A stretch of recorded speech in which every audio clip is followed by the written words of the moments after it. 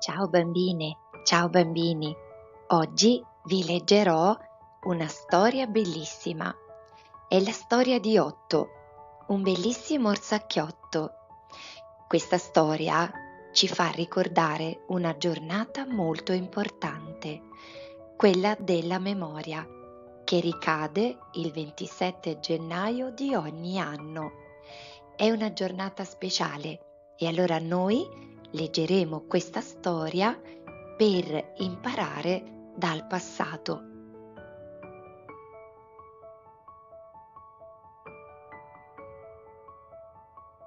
Il giorno in cui mi ritrovai nella vetrina di un rigattiere, dissi a me stesso sei diventato vecchio, caro Otto.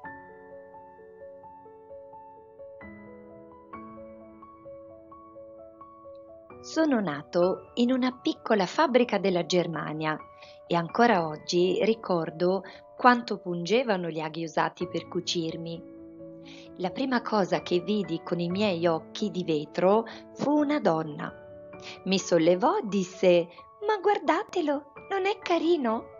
Mi avvolse in carta velina e mi chiuse in una scatola. Un bel giorno sentii delle voci, poi un fruscio, un rumore di carta strappata e all'improvviso ecco la luce. Davanti a me apparve il viso meravigliato di un bambino. Più tardi venni a sapere che si chiamava David e che io ero il suo regalo di compleanno.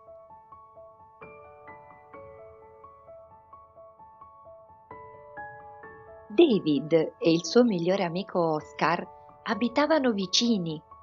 Furono loro due a chiamarmi Otto. Eravamo inseparabili e ogni giorno inventavamo nuovi giochi.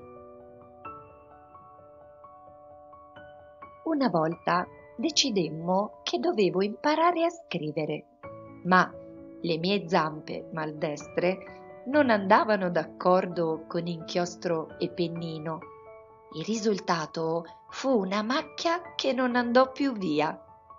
Con la macchina per scrivere del papà di David, però, era tutto più semplice.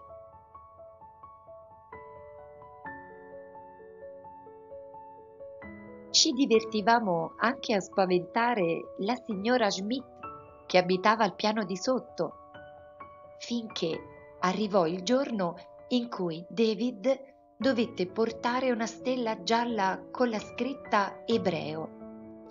Tutti dovevano vedere che lui era diverso. Ma gli uomini non sono tutti uguali? Noi tre non capivamo più il mondo.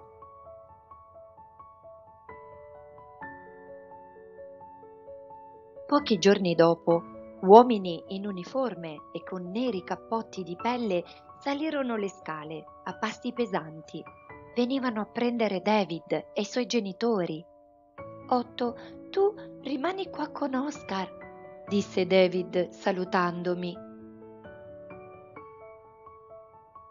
Lo vedemmo salire su un furgone e lo portarono via insieme a tanta altra gente con la stella sul petto.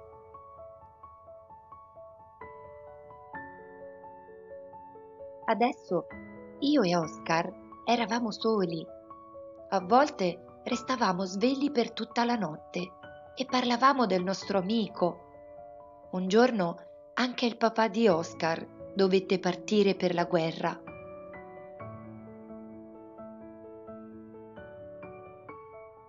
Poi cominciarono i bombardamenti aerei. Quando suonavano le sirene, correvamo in fretta nei rifugi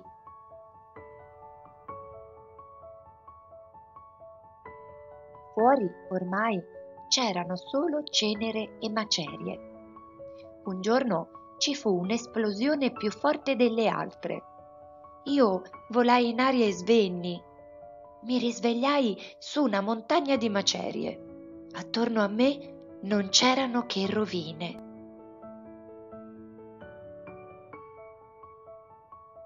Poi arrivarono soldati e carri armati si sentiva sparare.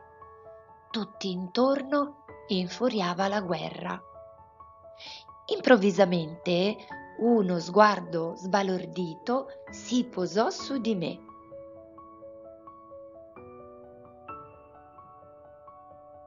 Fui sollevato da terra. In quel preciso istante sentii uno sparo e un dolore acuto al petto.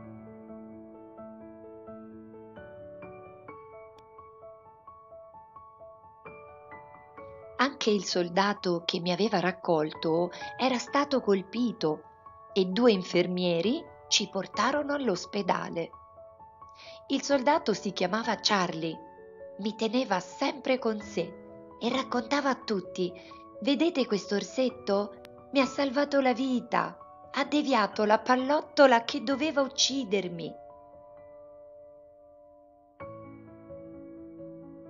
Charlie ricevette una medaglia e me la puntò sul petto.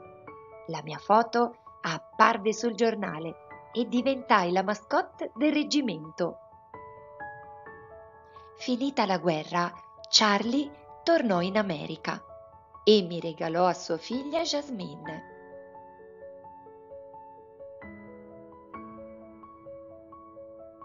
Finalmente avevo di nuovo una casa. Ma la mia fortuna non durò a lungo. Durante una passeggiata caddi nelle mani di una banda di ragazzacci.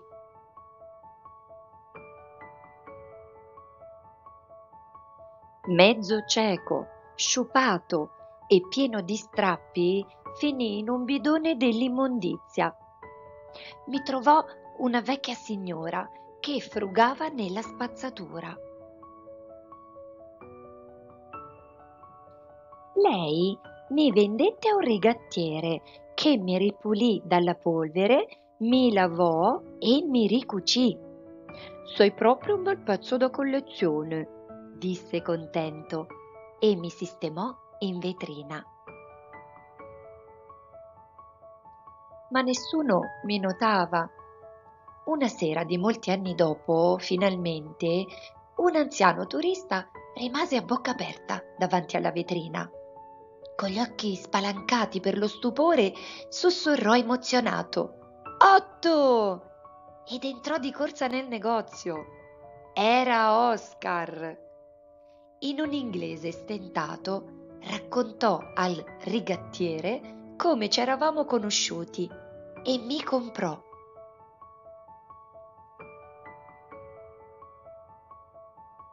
La nostra storia finì sulle prime pagine dei giornali nella camera d'albergo di Oscar, una sera, squillò il telefono.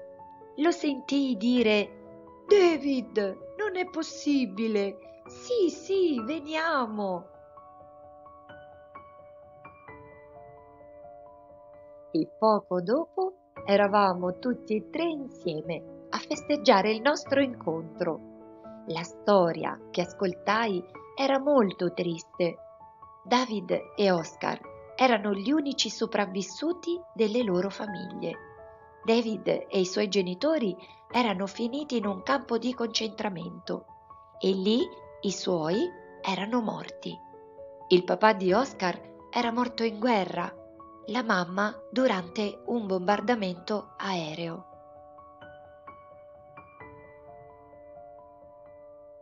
Ora niente doveva più dividerci decidemmo di rimanere uniti e cercammo una casa per tutti e tre. Finalmente la vita è come deve essere, pacifica e normale. E per non annoiarmi ho cominciato a scrivere la nostra storia.